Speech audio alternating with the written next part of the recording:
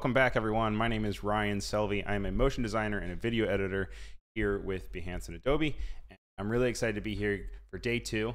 Uh, today we're going to be going over some of the timeline basics in Premiere Pro, which is a really great way to organize footage and work out the way that you want to tell a story, uh, whether that's a serious, uh, very high level production value uh, asset for a client, or maybe it's even like a, a birthday video uh, for your niece or nephew. Today, we're going to be working on a recipe video that I filmed with some friends. And yesterday, we were going over the importance of proxies and the importance of um, working in the program so that everything works smoothly. Today, we're going to be working with the timeline and how you can navigate your footage and get things all laid out into um, a nice narrative while also not wasting your time uh, just stuck in all of the footage. So very quickly, we are going to hop right on into uh, Premiere. You can see here that I have my sequence settings set up. I created a new sequence, and I just wanted to call out a few things for you guys. One is that it is a vertical uh, composition, and this is because I shot in vertical, and this recipe video is for a vertical uh, media like TikTok or Instagram. Um, you can always go ahead and change these by creating custom editing modes but I wanted to really call out that this is 30 frames per second, and then my frame size is 1080 by 1920. So I went ahead and I called that Pi tutorial. You can see that just like we were talking about, I have a bunch of categories where I have my footage and my sequences, and I'm set up for success because I am ready to edit and not get lost in where I am. Uh, so right now you can see that I created a little area here for proxies because we talked about proxies and the, uh, the importance of them. And so I can see that everything that I have here is attached, but you can also see that I went in and I right clicked into my metadata display. And under metadata display, I made sure that the frame rate was visible. Um, and so that just lets me know that I have different frame rates for my different footage. And when you're editing footage, you don't want to deal with different frame rates in the same composition without uh, allocating the proper approach for it. So you'll see here that I have 240.41 frames per second, 240.38, 240.42, uh, and even 60. And so I have an inconsistency of my frames per second, and we don't want that because these are actually slow motion videos. And for the slow motion videos, um, it has a lot of frames, but then if we bring it in, it's going to try to supplement for it, and it's not going to look well. So what we're going to do is we're going to highlight all of this and we're going to go into modify and interpret footage. This will give us a new dialog box and um, in the very first in the very top you can see that the frame rate is right up here and it says use frame rate from file but we don't want that. We know that our frame per second for our composition is going to be 30. So assume to this frame rate and it says one frame per second that's way too slow for us. We want to do 30 frames per second and we're going to go and we're going to press OK. Then you'll see immediately that um, the frame rate has been updated in our project bin. Now it says 30 frames per second. We still need to do this one for 30, I mean for 60 frames per second. We want to change that in the same way by going to modify, interpret footage, assume this frame rate, and we're going to change that to 30 frames per second. So now whenever we go through and let's say we go and we drag this on in, into our composition, um, you're going to see that it plays in slow-mo just as it was shot uh, and in the way that we want it to be seen. So I went ahead and for our recipes, for all of our ingredients, we created some slow-mo introduction for all of the um, uh, content that we have. Now, a big thing that we're going to be going over today is keyboard shortcuts. And keyboard shortcuts are really your key to success in um, uh, Adobe Premiere or just when you're editing in general. Um, and you can view these all because it can become very intimidating uh, just by going to edit and keyboard shortcuts. And this will really give you the opportunity to customize it to the way you are. I have it set up for just the defaults. I've learned a lot of the defaults and um, I think that they're really well laid out, but everyone works differently. You can really create some really cool stuff, stuff that already doesn't have keyboard shortcuts, or maybe you're left-handed or right-handed and you want to switch it up. So I'm just going to go over a few of my favorites when we were assembling footage, uh, and then you can use that to kind of compile your footage and make it work together. So you can see right here that when we were watching this, um, it was going really slow because it's in slow-mo and we had you know the time to throw the Rice Krispies. But um, I don't necessarily want all that before and after. And I just want the little area where the Rice Krispies are going back and forth. So we've already gone ahead and we've pulled it into our project, but what we're going to want to do is we can probably just go in, we can press C, and that'll bring up our razor tool. And you can cut right at the beginning. I'm going to go ahead, I'm zooming in with the plus tool, so I'm closer to my timeline because I have bad eyesight. And um, the, the really easy navigatable keyboard shortcuts that you should always use are J, K, and L. And it's really easy to remember because it's just left to right. J will rewind for you. you press it again, it'll go faster. K will stop it in its tracks. And then L will go forward, and if you hit it, it'll go faster. So it's just a really easy way so that you don't have to, you know, bring your hand to the mouse and move all around. And that's what we're going to be using a lot for um, editing this footage. Now, I'm using the razor tool, but there are some other really cool things that you can do to not use the razor tool. And um, you'll see normally people would press V for the selection tool. You know, you would highlight and then you would go delete. But then you have this area, and you can click this area and you can click like backspace, and that'll bring it all the way to the front. But rather than doing any of that, actually, and I'm going to press Control Z to bring that back, um, all we're going to do is we're going to just click to the beginning here. And if we press the um, uh, letter Q, it will delete it and bring it to the front. You can do that also the same with, I'm going to uncut everything. So it's all one footage again. And let's say that I, um, I want to cut here and here. Uh, and also another really good one that you can use, um, I think is Control K. Or, yeah, Control K. Um, and that will just split it right wherever your play marker is. And you'll see that before when I hit Q, it got ready all the way to the beginning of the sequence. Um, but in this case, we've now developed a small little snippet of something uh, that has its own section. And so rather than going in and pressing V, selecting it, deleting it, clicking it, pressing backspace, rather than doing that, um, since we have little set little area, all I'm going to do is I'm just going to press Q um, with it selected. It's not going to do it because I messed with my keyboard. But um, hypothetically, you can go and you'll be able to switch through that. Um, uh, what you're going to want to do next uh, is there's another way to add things into your footage um, or into your sequence, and that's with the source monitor. And the source monitor I have located up here in the top left. And um, if I double click into my footage, you'll see that it pops up here rather than in my program uh, project area. And same sort of controls, we're gonna press J, K, and L to go forward or backwards. But rather than going and um, cutting it once it's already in the footage, I'm gonna navigate to where I wanna start, which is right here. I'm using J, K, and L. Now I'm gonna press the I button for the in. And then I'm gonna press L. We're gonna go forward a little. I'm gonna press K again to stop it. I'm going to press the O button.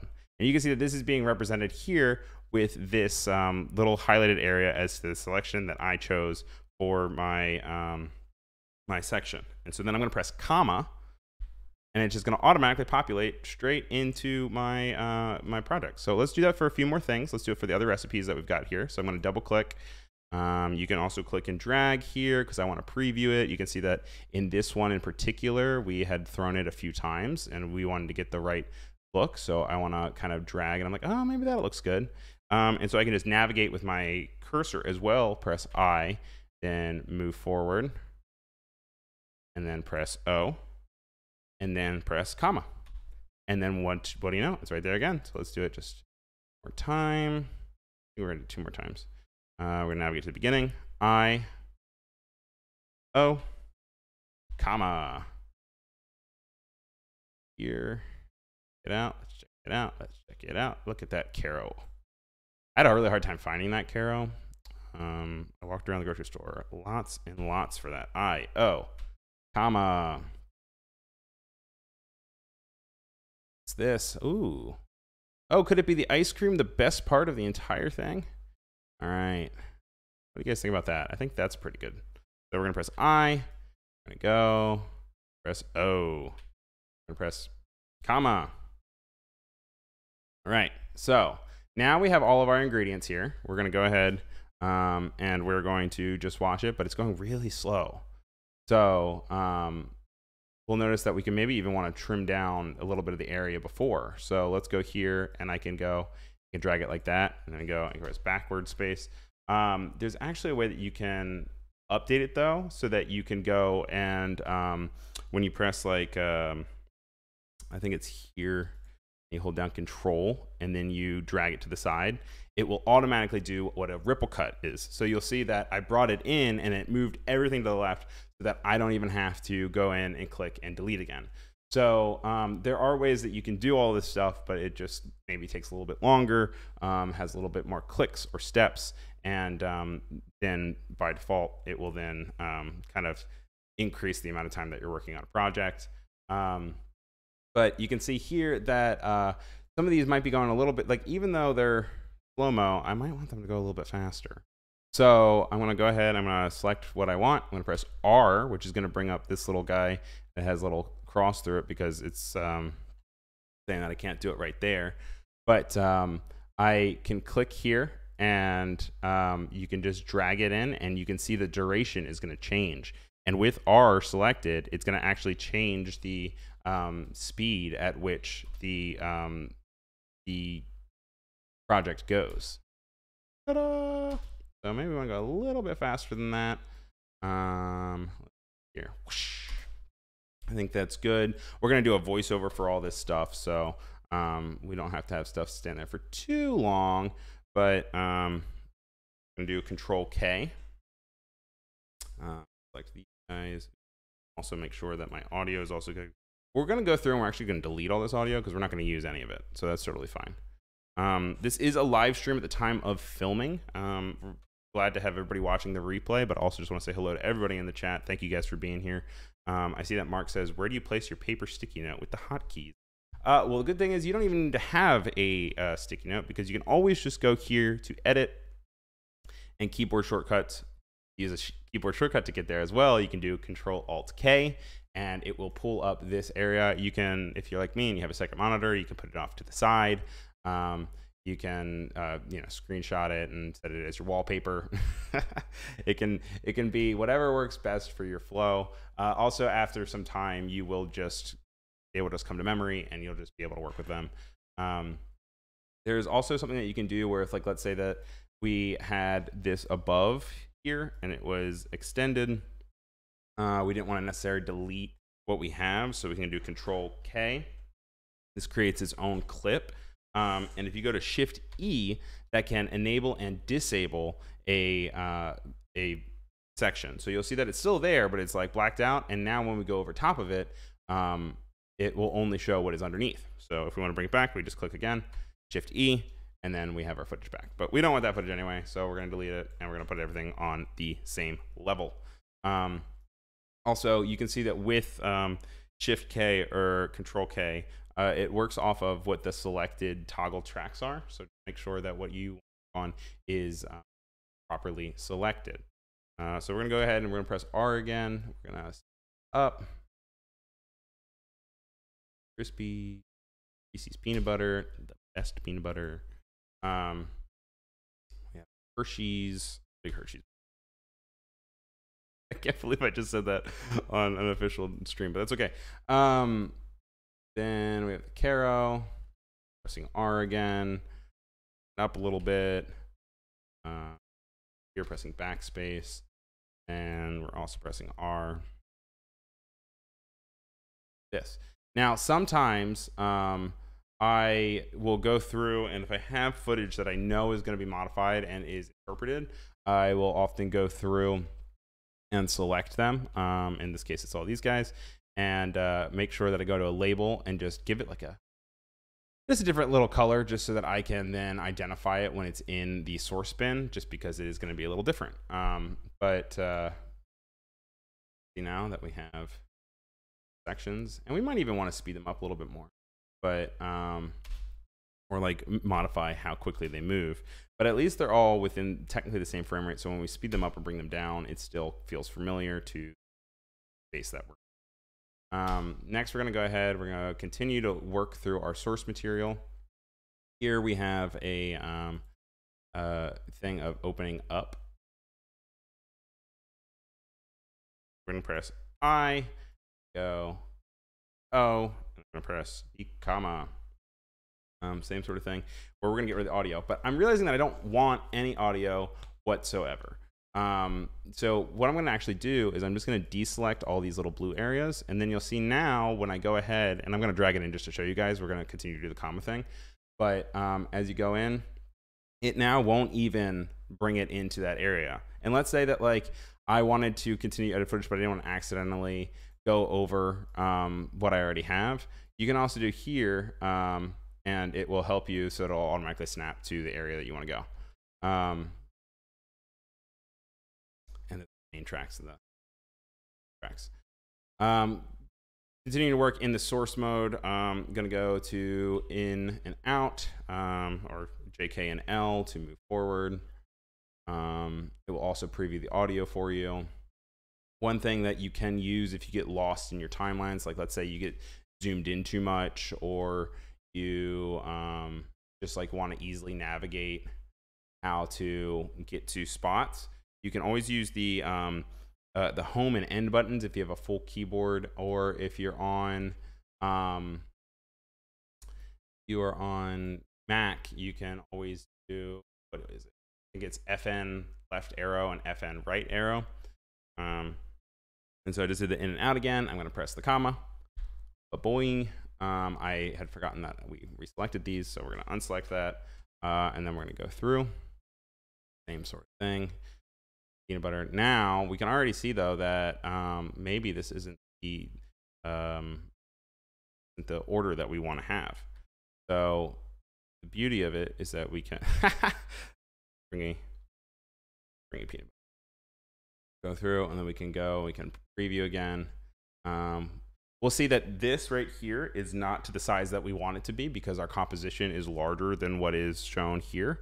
What you can do is you can right click and then you'll go to either scale to frame size or set to frame size. Now these are two different very two very similar things but different. Um, for the scale, you can see right now we are in the assembly section, but editing section. Uh, it will rework your workspace to show you a little bit something. But you'll see that now it says scale 100 still. Whereas if you go in and you go to um, scale to frame size, uh, it is going to update to 200. Oh. oh, here we go. So yeah, here we go. So set to frame size brings it to 150 because it's going to make it bigger. But if you do um, scale to frame size, it's just going to be 100. So I normally just personally stick um, to set to frame size just because then I can see it as a visual marker to know that it is larger. Um, if you're working with like graphics and you know that you won't have to mess with the scaling of it again, um, you can always go and just do scale to frame size but um, it's it, it's one preference and two just organization based off of what you're going to do. We're not going to really pan into this, so it's not going to pop up. But um, nevertheless, a, a favorite that I have. You can also go here. You can see that these are now two different things. Um, they're still one and the same. You can go ahead and you can press um, Control C on top of it. And then if you were to go over and you do Control Alt B, it pops up and says paste attributes, and it's asking you what you want to paste um, onto this selected uh, piece of um, material. And this material in particular, let's say that there's like a motion, there is opacity, there's time remapping. We don't care about time remapping, we don't care about opacity, but under our motion is where our scale is. So I can press that and I can press OK, and it's automatically going to scale it up to match the other one. So this is really good if you have a lot of footage that are all a little bit too tiny and um, you need to um, increase more than one and make sure that everything is all the same. So we're still in assembly, so I'm going to go back to assembly real quick, um, and we're going to continue to navigate. If you need to really zoom in, you can zoom in with the plus and minus keys. Uh, I just want to show you guys up again the um, the home button and the end button get me to the beginning and the end as to where I need to be. Um, you can see that there FX has turned yellow because there's been a modification for it. And you can also see that in all the things that we've already done because we were messing with the time remapping of all of these files and we were messing with the scaling of these files. Um, then we can go here, jump in, we're gonna look at our source monitor again, select this. Um, this is one we already added, so let's go to 97. have beautiful hand opening. O. We're to press the comma. Uh, you will see there's a little area between. We don't want that, so we're to go ahead and press backspace. Go in, O2, same thing. Um, in, out, comma. And you'll see that my play marker is a little bit off, so I'm actually going to go to the end to make sure that it lines up uh, perfectly for the um, area. So then we're going to go um, to here, and we're going to open up the source monitor again. Uh, we're going to use JK and L to navigate where we need to. All right, that looks like it's a good spot to stop. So we're going to press O, beginning, versus, and remember, we can always control the speed at which we're navigating. So if you want to go faster or slower, you can tap the button again, and it will um, then adjust accordingly to be fast forward or rewinding. Um, but I like to normally kind of just go in with regular speed as I'm kind of getting to know the footage. And then the longer that you're in the project, the, lo- the more you'll like want to speed things up and get it out. Um, so I said IO, I'm going to put a comma there. I'm going to bring it here. Um, and we're just going to continue do more or less the same thing over and over again. So we have me violently opening this Rice Krispies. Um, at comma. And you can see this is really starting to come together. But, you know, as we had before, now we have these two. And we can do the same thing where we can do um, the Control Alt V. And once again, that paste attributes will show up. And this time we only have motion selected. So if we press OK, you'll see that now both of these are done. So it actually came into, into use case. We did, didn't highlight these when we were doing Control Alt V. Same sort of thing. To press OK continue to have these made. So we're already at 15 seconds here. If we're thinking TikTok, we're we're on a good trajectory. We're looking at the rest of our footage, and we're, we're seeing that um, we've got a little bit of um, steps to go through. Uh, we got the Rice Krispies here. So, comma. Oh no, did we accidentally write some stuff? So just Control Z. Let's see if we did that. We did. So we're gonna go back to end.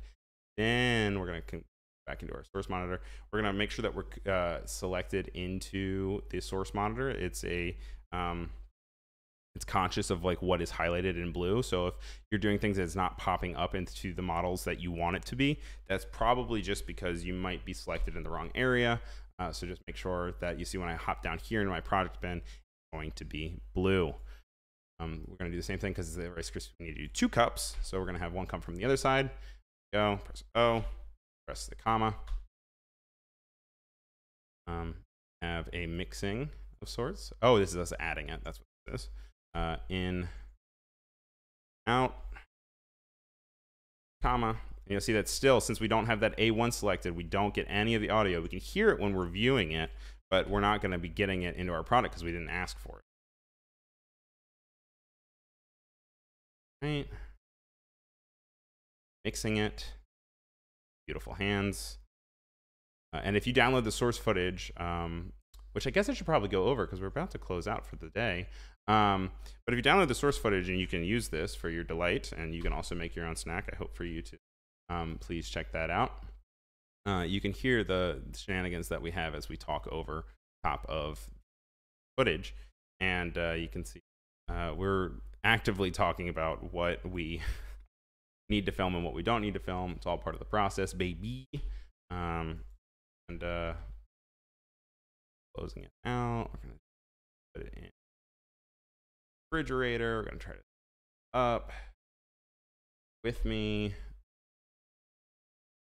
out.